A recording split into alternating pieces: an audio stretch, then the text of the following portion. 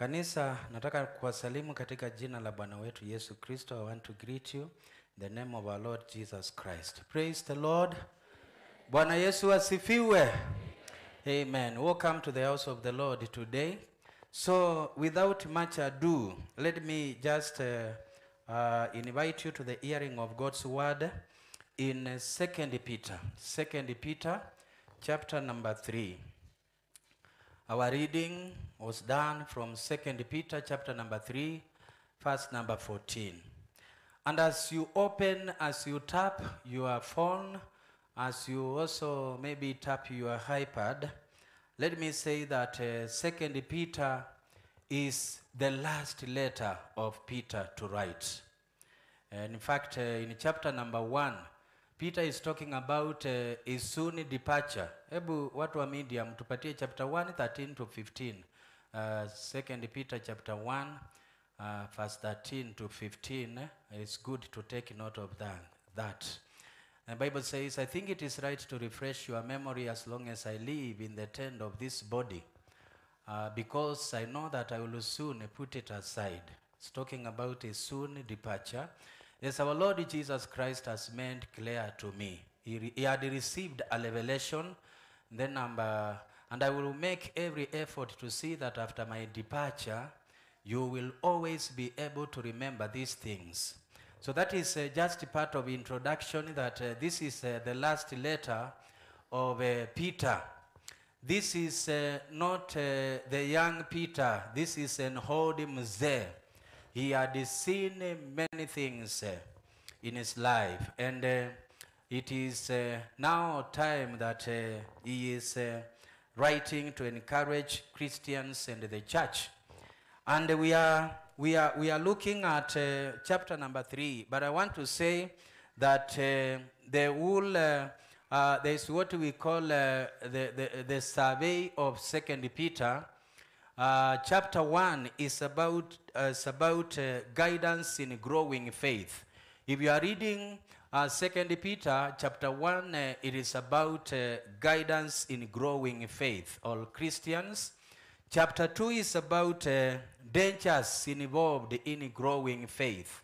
And uh, chapter 3 is uh, off for growing faith. Matumaini kwa imani ambayo inaendelea na kukua. And so we are in chapter number 3. We are in chapter number 3, verse number 14, all the way now to number 18. And I commence uh, reading. Uh, I commence reading. So then, uh, dear friends, since uh, you are looking forward to this. Make every effort to be found spotless, blameless, and uh, at peace with Him. Bear in mind that our Lord's patience means salvation, just as our dear brother Paul also wrote you with the wisdom that God gave him. He writes the same way in all his letters, speaking in them of these matters. His letters contain some things that are hard to understand, which ignorant and unstable people distort, as they do the other scriptures, to their own destruction. And then, uh, therefore, dear friends, since you already know this, be on your guard, so that you may not be carried away by the error of lawless men and fall from your secure position. But grow in the grace and knowledge of our Lord and Savior, Jesus Christ. To him uh, be glory both now and forevermore. And the church is say, Now I was saying hiyo amen sio ile ya kulazimisha. Unajua kuna wengine unaambia kanisa waseme amen. Hiyo imeandikwa kwa Biblia. Wale mko na NIV. So and the church is say Amen. Let's pray together. Father, in the almighty name of our Lord and our Savior, Jesus Christ, we count this opportunity that you have given us as a blessing that we have received from above. That is why we call the moment we are now experiencing as present, because it is a gift from above. And therefore, Lord, eh, as we continue, King of Glory, to worship, our worship eh, as a lot, our worship as singing, our worship as a time to listen from your word. I am praying, King of glory, as I give thanks eh, for bringing your people into this sanctuary today, that they may hear the message of your word. Dear Lord, I am praying that eh, for the word that is before us today, yes, in my humanness, I may not fathom the deep things that you want us to know. But by the power and the leading of your Holy Spirit, I pray that, Lord, you bring about uh, the revelation and also the message that you want us to hear this day. Many of us have come with an expectant heart to hear a word that is going to bless them, King of glory. Oh, I pray that, uh, God, you speak unto all of us because we are listening. Thank you, God. In Jesus' name we pray, and all of us we say, Amen, amen, amen. I want to propose uh, our topic of the day, and uh, uh, from the passage that we have read. Now, today I want to talk about uh, a topic that I have given in the title Christian Faith in Unpredictable Times. Christian Faith in Unpredictable Times. And uh, uh, this message, when I was uh, praying, you know, uh, some, sometimes uh, you wonder how pastors prepare. But I want to tell you, as a pastor, you prepare while you are driving, you prepare while you are sleeping, while you are... Mungu anaweza akakuamsha usiku, saa zingine akuongeleshe. So this week when I was uh, praying, uh, and as I was also interacting with the issues uh, that are happening, the Lord gave me this message. And we are living in times that are unpredictable. We look at the things that are happening and uh, we realize that our times are unpredictable. We are living at a time that uh, social relationships are under attack. Mzee na mama ambaye walianza vizuri sana, siku hizi their marriage relationship imekuwa a battlefield. May the Lord come through for you. Can I hear an amen? Yes, imekuwa battlefield. Unpredictable times and uh, seasons. We are living at a time that uh, we have a government in place. But looking at uh, the relationship between uh, the government and uh, the opposition, and I agree that we are all Kenyans, uh, but we cannot deny the political instability that we have in our time. And so we are there, times uh, and seasons that are unpredictable. We are there, we don't know what tomorrow is going to bring.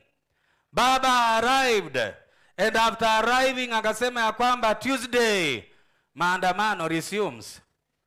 We are wondering wale wa town kama bado wataenda biashara ama wataenda kazi, especially wale ambao their offices and uh, their businesses and uh, uh, their work is uh, CBD.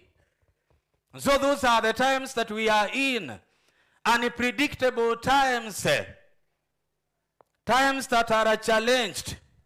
We thank God for the blessings of the rains. There are seasons we go without rains, and we find ourselves in a famine of some kind. The church of God is not left behind. Yesterday I was wondering uh, between the Kaya elders of the Mijikenda and the church, nani anaweza kutakasa msito wa Shakaola? Ni kanisa ama ni traditional elders? Kanisa ndio wanahitaji kutakasa, but kanisa ndio imechafua. Watu ambao wanaitanishwa na Mungu ndio wanasemekana wamechafua msito wa Shakaola. Nani ambaye can do cleansing? Who can do cleansing? That is why we need to reevaluate our faith. We need to redefine our faith. Because the Kaya elders are ready to start cleansing over a hundred, and maybe the numbers are going to increase. Over a hundred people have died and buried, And uh, that is something that is very strange. Strange, strange. Times that are unpredictable. We live in times that the people are changing. Watu ambao walipenda Mungu, they are changing. Pastors who loved the Lord, but they are changing. Anybody can change. We live in times that uh, church elders uh, who served the Lord passionately are changing. Deacons are changing. Ushers are changing. Something is happening in the church, and the Lord must do something. Can I hear an amen? Unpredictable times. Relationships are under attack. May the Lord help us. Christian faith in unpredictable times. False teachings are a reality in our time. We thought that wale wa kuuza mafuta, wa kuuza mafuta na wakifagio na wa kuuza anointing oil na maji ndio wamezidi, lakini sasa kuna wengine wamezidi sana. Kuna wengine wamezidi sana. And uh, I was also wondering, you know, uh, lawyers wako kazi. And uh, I was wondering that uh, yesterday, our one of us, uh, our, our, our, our, our colleague in the ministry, Ezekiel, sasa amechukua lawyer wawili wamtetee. Mungu ako wapi? No, Paulo na Sila walitetewa na Mungu. Lakini wakati sasa tunategemea watu watutetee and I could listen the, the language now from the lawyers. Nikajua hapa kitachukua mwelekeo ingine. Kitachukua mwelekeo ingine. When men are out to defend us maybe it can also be allowed because we want interpretation of the law. But i want to tell you there comes times and seasons uh, when men and women of god are defended by god himself mungu mwenyewe anakutetea na inasemekana una hatia na unaenda zako I want to talk about the Christian faith in uh, unpredictable times. I wish I had uh, time to talk a lot. And so the church is under attack. Peter is writing, uh, you know, First Peter is telling us about uh, persecution and uh, suffering. Peter is addressing Christians who are suffering and persecuted. But the second Peter is addressing uh, issues rising from within the church when believers are not committed to live out their faith in God, when Christians are not committed to live out their faith in God, that is what uh, Peter is addressing uh, in the second Peter letter. And I want to say that uh, since our faith is exposed uh, to unpredictable times and seasons, uh, our faith, each one of us individually, will be tested in some way. We are all here as a team, but I want to tell you individually we are tested by the Lord differently. Kila mmoja wetu kuna kitu anapitia ambacho sio yule mwingine anapitia. We will be tested differently as far as our faith in God is concerned. Many Christians today, their love for God is growing cold. Wakristo wengi leo hii their love for God, their love for serving the Lord is growing cold. The church of God is under attack from within. Kanisa limevamiwa kutoka ndani. False teachers are not far away, even from within us. Wako Reverend Mwoki, uh, sijui kama unajua kuna kuna siku moja tukiwa kwa ibada hapa, mama alikuja na maji kwa glass. tuko kwa ibada tunaendelea, lakini mama amebeba maji kwa glass, na tukiomba anainua maji yake. Hata watu wa Ezekieli wako hapa, watu wa Ezekieli wako hapa. Hiyo hiyo gossip nilisikia hapa, kumbe tuna uh, umoja naendanga ya isi umoja, nikipitia tu mimi ni mtu wa Ezekiel eh? Watu wa Ezekieli, Bwana Yesu asifiwe. Hiyo unasikia wako hapa. and you know hiyo hiyo maafa iko huko majority ni women please women women be firm in your faith. Wamama waliokoka na wakamfuata yesu. Wachana na hii mambo. Nabii wa maombi yako huko matungulu hills. Wewe ndio wa kwanza kupelekwa huko. Reverend Mwoki and Reverend Iluve cannot afford to pray for you. Lazima upelekewe nabii Matungulu Hills, lazima upelekewe Nambii Kitui kule Bitine, kumbe umepelekwa kwa munganga. Watu wanapelekwa kwa wanganga hapa na on Sunday mnakuja hapa mmevalia suti vizuri na kitenge ingine, you appear spiritual when deep inside you are rotten spiritually. It's high time that as a church of God, we change and live for God. Christian faith in unpredictable times. eh, Watu wako katika, na nikasikia hadithi ingine mbaya sana. Mama mmoja, wacha niseme hii, hayuko uh, she was here many years zimepita, lakini uh, she came to me when she was very injured spiritually ndani yake, kaniambia pastor, kuna mama aliniambia ananipeleka mahali nikaombewe nipate mtoto. Kamuuliza ulipelekwa wapi?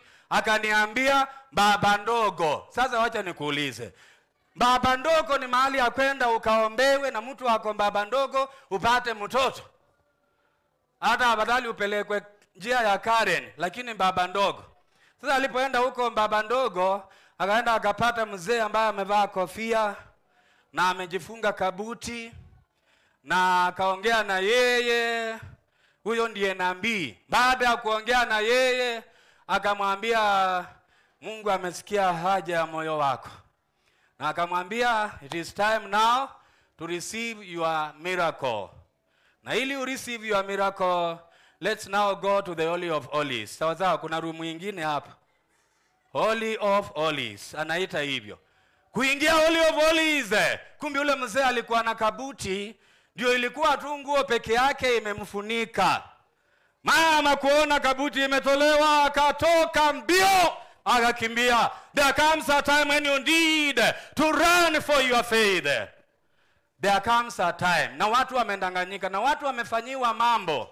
Wacheni niwaambie, watu wamefanyiwa mambo. Wengine they have been initiated into religions eh, through sexual intercourse. Hiyo ni mambo imeendelea. Some women cannot anymore relate with their husbands eh, and feel anything eh, because eh, something happened. Christian faith in unpredictable times, we need to watch out.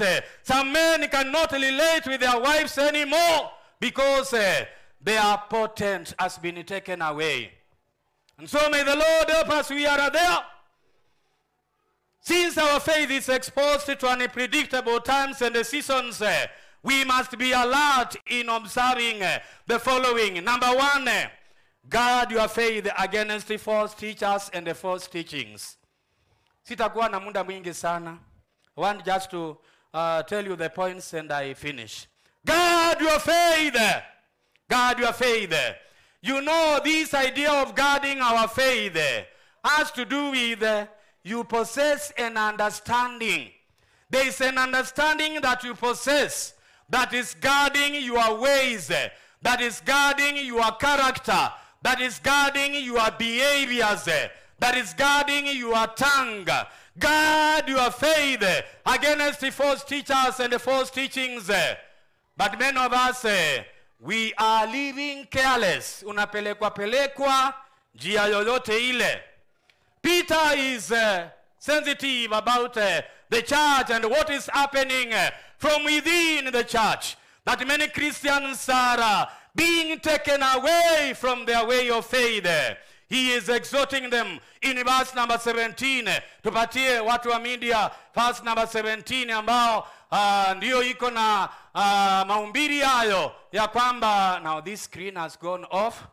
Uh, verse number 17 inasema ya kwamba therefore dear friends eh, since you already know these eh, be on your guard be on your guard ndio hiyo be on your guard and that brings to us our first point that guard your faith against uh, false teachers and false teachings. eh.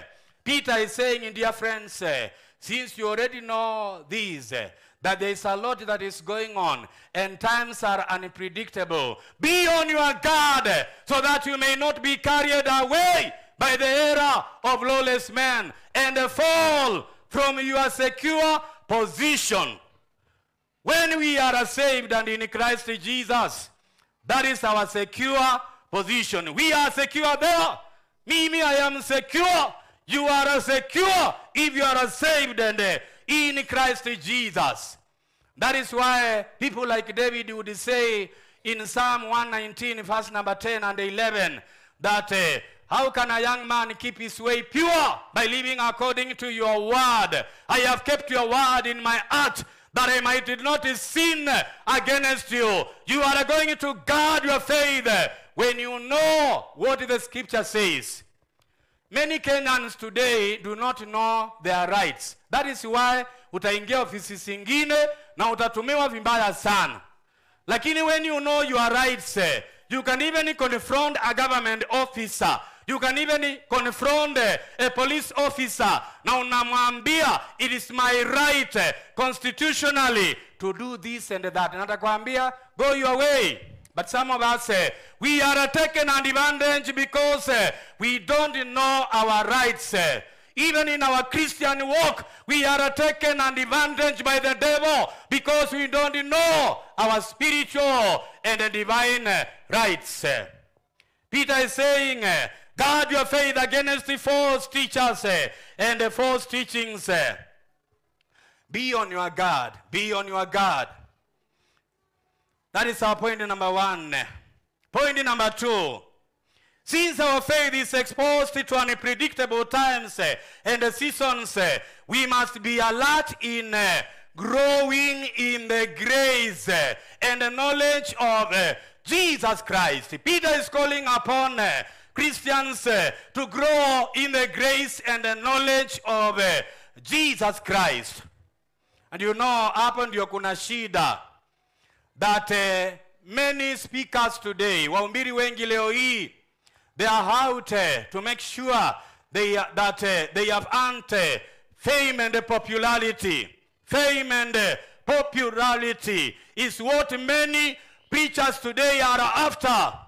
But Peter having an experience uh, na akiwa amehubiria watu wengi, one time he preached and uh, 3,000 people came to the Lord, uh, but he never took any fame. He is calling upon Christians to grow, not in him. You know, in Greek, there is what we call uh, the sphere of quality in Greek. So, what is uh, informing our growth?